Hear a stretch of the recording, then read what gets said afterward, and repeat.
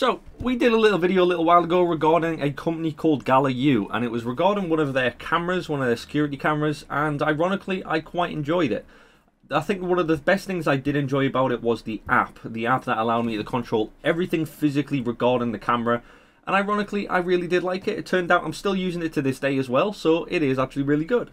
Well, they decided to send over another one of their cameras, and this is more on the lines of a, like a baby camera or a pet camera or an indoor security camera. So that's what we're looking at today. We're looking at the GALAYOU 2K indoor security camera.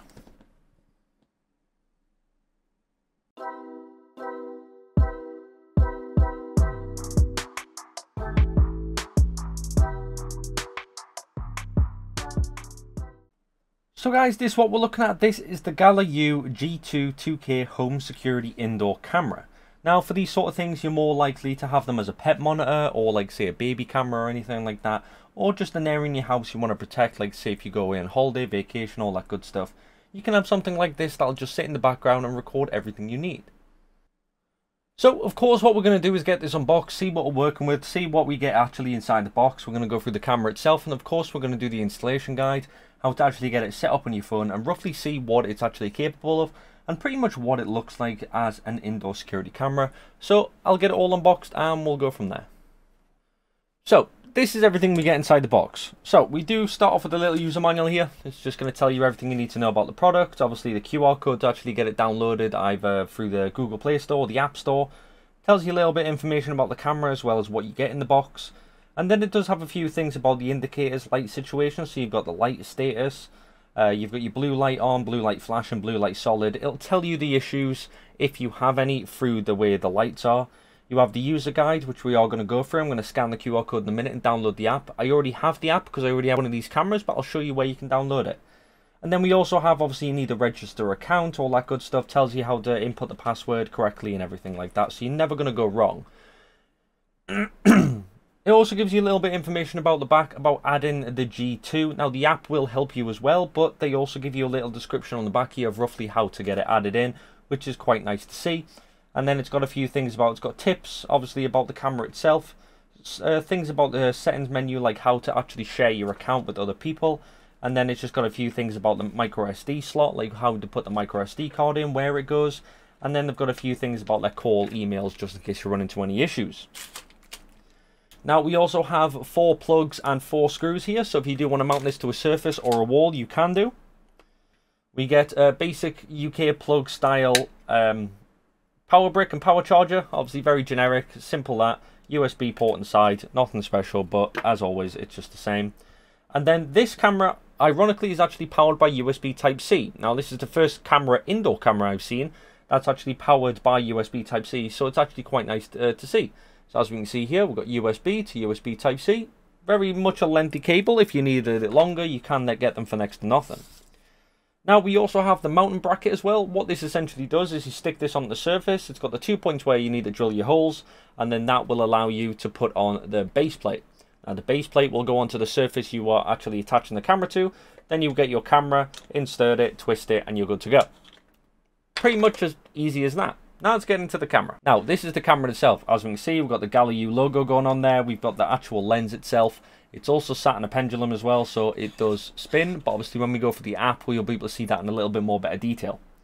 Now, we do have the lens at the top here, but if I move the lens upwards, we can see a little slot there. Just right there. That'll be for your micro USD card. Uh, micro USD. That'll be for your micro card. We have the lens as well as the sensor, and then obviously the microphones as well. Now on the back of here we do have the QR code as well as a serial number. On the back of the camera we do have a speaker, so this is obviously for if you are going to be talking through the speaker, this is where it'll be projected from. We have a reset button, so this is going to be more used for when we actually get it set up, and then we also have the USB Type-C port for the power capability.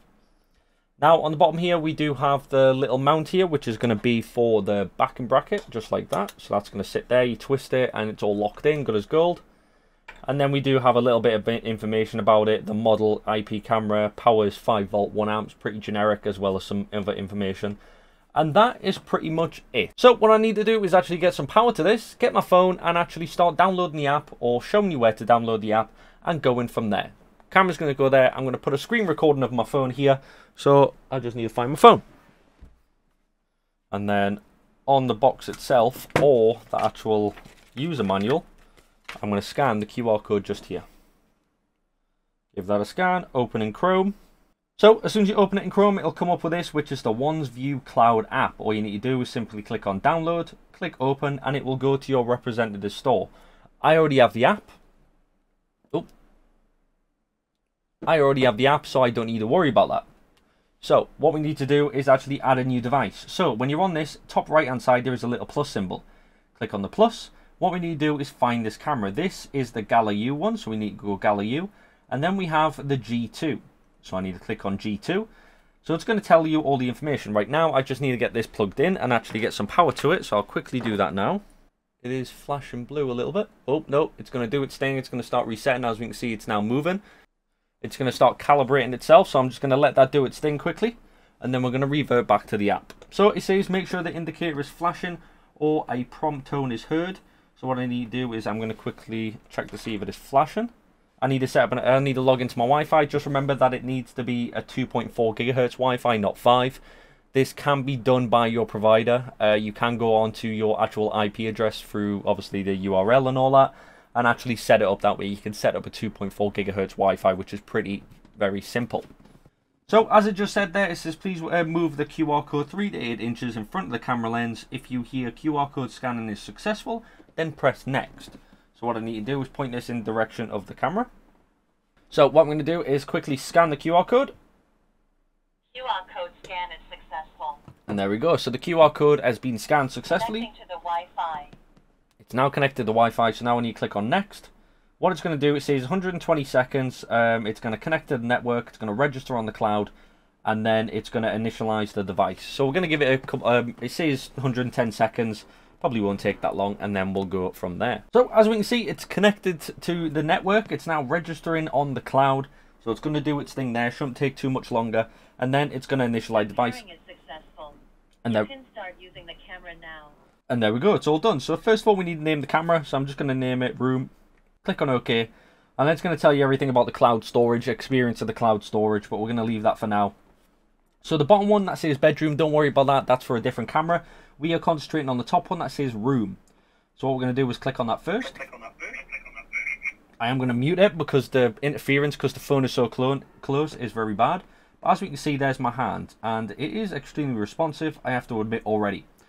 So we'll go through the process, going through everything, and we'll go from there. So first of all, FHD. So you do have two functions. We have full HD and SD. So depending on what you're doing, whether you're doing full day recordings, maybe you go for SD so it's not as heavy on the storage. But if you're just doing monitoring or live uh, live viewing, just full HD is uh, quite a good one. But I have to admit, quality-wise, it really is actually incredible. Like even that box itself, we can read that very clearly. So very good on that part. So top left hand corner, we've got a little Wi-Fi signal, um, 2.4 gigahertz Wi-Fi signal. It's about halfway, which isn't too bad. And then bottom right hand corner tells you the, uh, the kilobytes per second, which is pretty cool. Now we do have four codes on the bar. We do have volume. I currently have it muted, so you don't have to hear it. But that'll literally, you'll be able to hear what the camera hears. Microphone, it will allow for the microphone uh, so for you to speak into that. So whatever's on the other end, whether you're speaking to someone that shouldn't be in the place where they should be, you can speak over the camera and allow them to hear it. We do have the record function as well as the screenshot function, which are pretty cool. They will be saved into your gallery. Now we also have five more on the bottom. We have alerts, replay, console, position, as well as siren. So if we go to alerts, what this, it says exactly what it is. It'll tell you all the alerts, what's actually going on for this camera, which is pretty cool. We have replay. So what this will allow you to do is go through, obviously we don't have anything at the moment, but what this will allow you to do is go through all the history of all the different things you've recorded. Obviously that comes under the plan as well as the SD card. We have console, so what this allows us to do is actually change the direction of the actual camera, which is very responsive, I have to admit. So we do have all the way to the ceiling, and then we have all the way tilted downwards, and then we can control it that way as well. Relatively really smooth, I have to admit. Obviously, it is very smooth. It's not juttering all over the place, so you don't have to worry about that. It's very controllable, so I do enjoy that part. Now we also have position, so this will be obviously favorite position. So if I go back to console and I set it to pointing towards the window, click on the little uh, star, now, now that's saved the position, exit off that, go to position, I have two here, so I can click on this one, and the camera will automatically turn back to where it was or I can click this one and it'll go back to where I want it to be. So you can have this located on different areas in your home or your house, your area, and you can just select through them instead of having to do it manually. You can just click through them and see which one you actually want to go to, which is pretty cool. Now, we also have the siren. Now, I am going to play this. It's going to be quite loud, so if you are wearing headphones, please be careful. So if you if your camera does detect something you don't like and you don't appreciate, what you can do is hit the siren button and you'll have two things. You'll have siren off or on, as well as trigger by motion. So if someone does walk past it, automatically the siren will go off. But this is what it sounds like.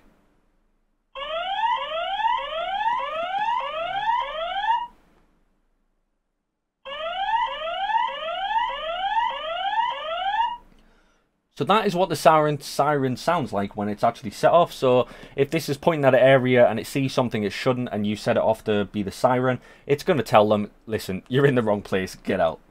So what we'll do now is head over to settings. So I'm going to go to the settings bar. We have a few things. So we have the, the device name, which I've named room, camera information, and we have camera information, which I'm not going to go into. We have invite family and friends. So you can just invite a new family. So if you have like your mum, your dad, brother, sister, dog, uncle, auntie, whoever you want. You can do this by just simply sending them off by an email and they have automatic uh, device. So we have three uh, users that can be shared to this device, which is pretty cool. Advanced settings, so we have a few. We have image rotation, so it'll actually show you whether you've got it upright or inverted, depending if it's on a wall, a floor, a ceiling. We have auto night vision, so it speaks for itself. When as soon as it starts getting dark, the camera will automatically go into night vision. We have AC frequency as well, depending on what yours runs on. We've got 50 and 60 hertz. And then we can turn the LED indicator on and off, which is pretty simple. We have privacy settings, so you can turn the camera off. So basically what it means, the camera will stay on, but it'll stop actually recording and viewing. So you can turn that off, and then you can also set up a schedule. So if you don't want it to record in certain times of the day or the night or whatever, you can set up a schedule to actually turn it on and off 24-7. Scheduling, you've got schedule 1 and schedule 2 privacy area, you can set up an actual privacy area for this. So say if it's pointing at something, I don't know, maybe your driveway, and you only want to see the actual car, we can move this around and actually set up for it to just see certain things, which is pretty cool. And then of course we have camera microphone again, we can just turn this on or off. And then we also have camera time zone depending on where you are in the world. Obviously it has every single time zone known to man. Right, now going down to motion detection, so we have uh, detection area, we have full area. So if we wanted to detect an in the entire space like we have here, obviously I can reduce that down a little bit. Like if I just want this por portion to be detected, or that bit, or that bit, you have full utilization of this, or as in me, detect everywhere. We have sensitivity levels as well, so it could be as simple as someone going, you know, it's going to detect something, you know, like human activity and then high sensitivity will be like it'll probably detect everything like say curtain movements in the wind and all that sort of stuff. Motion alert so we can turn on motion alert. So if it does see anything going on we can also schedule that 24 7 schedule 1 and 2 as well as any everything else going on there which is pretty cool. We have networks obviously if you need to change the network obviously via a Wi-Fi over QR code or the Wi-Fi connection by soft AP we can also do that and that would be by the QR code on the back of the camera itself. But we've got it connected over Wi-Fi through router so we don't have to worry about it. And then we also have device management, so we can either reset the camera, restore the camera's factory settings, which is pretty cool. Or even if you decide you want to, you can also delete the camera. So guys, there we have it. That was the video regarding the little 2K security camera. And I have to admit, ironically, it did very, very well even from the likes of the app, the response time for me moving my hand towards the camera or the camera moving around different areas was very, very quick. There wasn't a great deal of um, like differs or difference or anything like that. I wasn't moving my hand and 20 seconds later it was showing up on the camera. No, so I definitely give them perks for the camera. I, I think one of my favorite things was the preset of actually um, being able to set up where you want this camera to point. So it's like say if you have four locations, you want, you know, your front garden or whatever, or you've got this set up and you can actually save them presets. So instead of having to manually change the camera to look you can just go over to your favorites click on the selected one the camera will automatically move to whatever you've already preset it as. And I think that was one of my favorites. I haven't really seen that. Plus the matter of fact that it does use a USB type C cable to actually apply power which one thing I did enjoy. Don't really see cameras the actually up to now actually changing it. But I have to admit I really did enjoy it And obviously, it was quite cool, the matter of fact, that you can connect this up to the Amazon or Google, you know, your Alexa and all that sort of stuff. Don't start trying to talk to me. I have to admit, relatively a really cool little camera. So if you do want to go check one of these out for yourself, please do look in the video description. There'll be a link there so you can go check them out. As always, if the video did help you in any way, shape or form, don't forget to like, subscribe and hit the notification bell. And as always, have a great day.